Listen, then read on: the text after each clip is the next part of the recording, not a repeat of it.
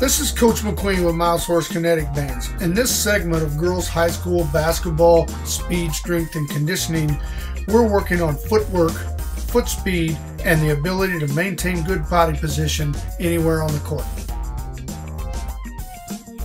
Ladder drills are extremely important because they give us a chance to work on so many different areas of athletic development while providing an opportunity to mix things up and have some fun.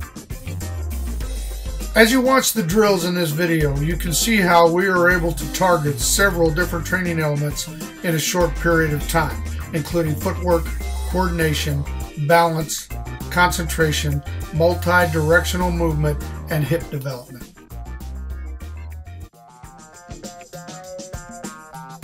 We have also added the basketball and reverse direction to our ladder drills.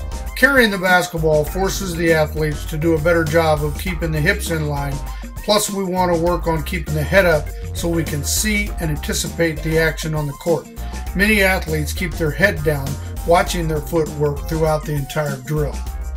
The reverse or backward sequence requires much more focus and concentration in order to keep the feet moving and maintain good body form and body position.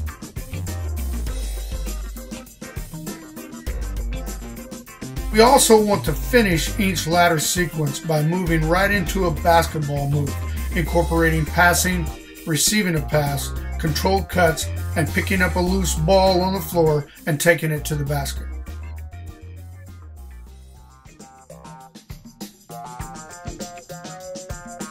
These basketball players are maximizing their training results by wearing the Myosource Kinetic Bands, combining skill development with speed, strength, and conditioning training.